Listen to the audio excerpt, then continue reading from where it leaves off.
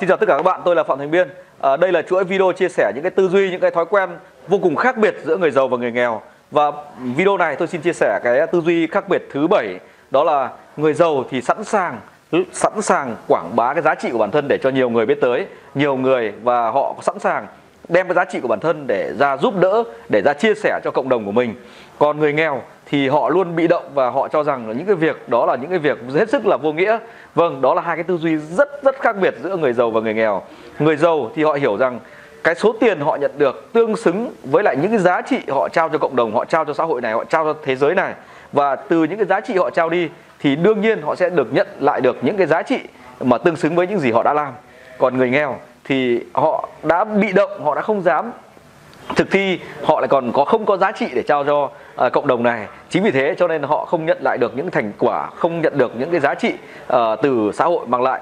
Còn người giàu liên tục họ tạo ra à, các cái sản phẩm các cái dịch vụ các cái kênh đầu tư để giải quyết những cái vấn đề của thị trường giải quyết những uh, cái mong muốn đáp ứng nhu cầu của thị trường. Và chính vì họ giải quyết cái nhu cầu của con người và họ trở nên giàu có. Và đó là cái tư duy vô cùng khác biệt người giàu thì sẵn sàng quảng bá bản thân mình để cho nhiều người khác biết tới và sẵn sàng trao giá trị cho cộng đồng. Đó là cái tư duy khác biệt số 7 còn ở tư duy khác biệt số 8 xin nói với mọi người, hãy lưu ý, ghi nó lại, ghi chi tiết lại cái tư duy khác biệt số 8 đây là cái tư duy mà đánh dấu thành công hay không, nó nằm ở tư duy số 8 tư duy số 8 là tư duy người giàu thì có thói quen và có sự linh hoạt và có kỷ luật trong quản trị tài chính cá nhân đó, còn người nghèo thì họ bị động trong khâu quản trị tài chính. Người giàu thì họ rất thông minh, rất thông thái và họ có kỹ năng, họ có kiến thức và họ quản trị tài chính cá nhân của họ vô cùng tuyệt vời. Họ quản lý và tạo ra các kênh thu nhập, họ quản trị dòng tiền của họ và họ biến các cái dòng tiền đó thành các tài sản và tài sản lại đẻ ra tài sản liên tục và cả một cái chuỗi chu trình liên tục liên tục làm việc như vậy cho người giàu và tạo ra các cái kênh thu nhập, tạo ra những cái đồng tiền rất giá trị.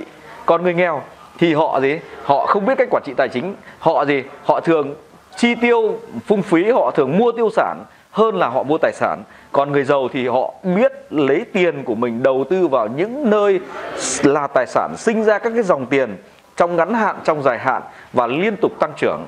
Và chính vì vậy họ nâng cao liên tục liên tục nâng cao các kiến thức, các kỹ năng và họ kết thân với những người giàu có hơn mình để học hỏi họ từ những cái kiến thức quản trị tài chính và chính vì vậy, cái khối tài sản của họ liên tục được mở ra. Đó đó là cái tư duy vô cùng khác biệt số 8 số 8 anh chị phải ghi nó lại, ghi nó xuống ngay. Đó là thông minh và kỹ năng quản trị tài chính cá nhân. Đó là một cái điểm khác biệt, vô cùng khác biệt của người giàu. Họ có thể giỏi ở rất nhiều lĩnh vực khác nhau, nhưng tự chung lại họ đều có một cái, có một cái điểm giống nhau. Đó là họ rất thông minh, họ rất giỏi về các cái kỹ năng quản trị tài chính đó đó là cái điểm vô cùng khác biệt ở tư duy số 8 và sang tư duy số 9 người giàu thì ờ, khiến tiền phục vụ làm việc cho mình, còn người nghèo thì ờ, làm việc đuổi theo đồng tiền. Đó là hai cái tư duy khác biệt nhau, vô cùng khác biệt. Người giàu thì họ là biến cái đồng tiền, biến tài sản của mình làm việc theo những cái chiến lược, các cái chiến dịch cho mình. Còn người nghèo thì họ bị động, họ liên tục phải làm làm làm làm vì đồng tiền. Đó là hai cái tư duy khác nhau vô cùng khác nhau. Đúng không ạ? À, vậy nếu anh chị ờ, muốn nhận được nhiều video hơn từ phạm thành biên hãy ờ, comment xuống phía dưới là tôi muốn cộng với lại subscribe kênh của phạm thành biên share cái video này lên tường để cho nhiều anh chị em khác có thể cùng được lắng nghe cùng được mô phỏng lại những cái kiến thức những cái tư duy ờ, và những cái thói quen ờ, vô cùng tích cực của người giàu về cuộc sống, về tiền bạc, về kinh doanh, về đầu tư. Vâng ờ, phạm thành biên xin hẹn gặp lại với tất cả quý anh chị ở các cái chuỗi video chia sẻ về kiến thức, tư duy và thói quen của người giàu có. Vâng để nhận được những video mới nhất, hãy subscribe kênh phạm thành biên, kích vào nút chuông để khi phạm thành biên đăng video mới lên kênh youtube, bạn có thể nhận được sớm nhất. Xin chào và hẹn gặp lại.